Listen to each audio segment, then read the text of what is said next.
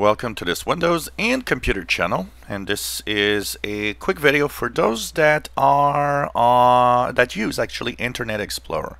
It really affects only Internet Explorer users.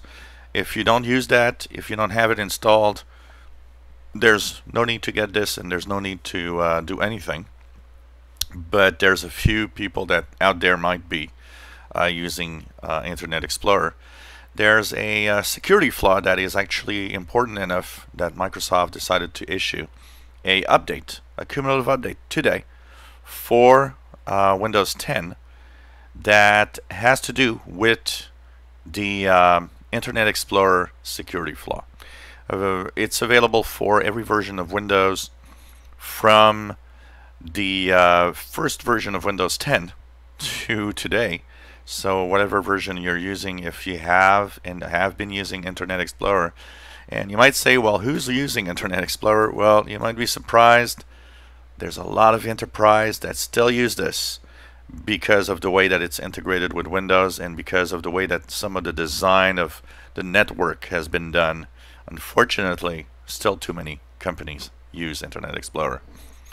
If you are using it, well, there's a chance that you might either have a malformed um, uh, script in the scripting engine that could actually infect your machine, ele elevate its privileges so that it's administrative, and then actually do whatever it wants. Also, um, if somebody has access and would be to your PC and has uh, you know bad ideas, well, they could also do this. So that means that uh, a cumulative update is available, but don't go on Windows Update because this is not pushed.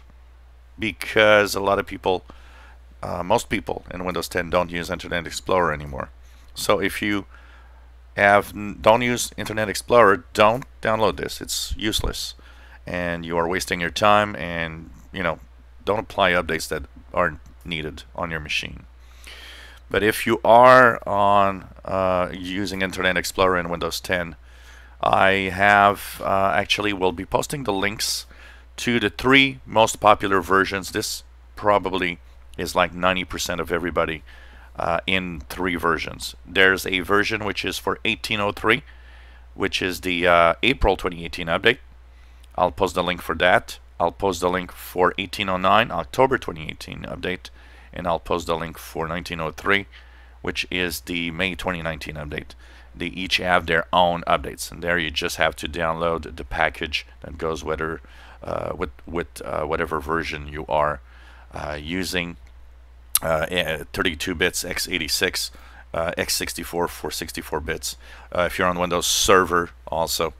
And of course there's a version for ARM so the links are in the description below the video. And once again you don't use Internet Explorer. Don't bother downloading this and um, don't bother downloading this at all if uh, because it's for most people this is useless. But if you are in that category of Internet Explorer users um, I think it's important to uh, stay safe. But once again it's a manual download. It's not a Windows update. If you enjoy our videos please subscribe give us thumbs up and thank you for watching our videos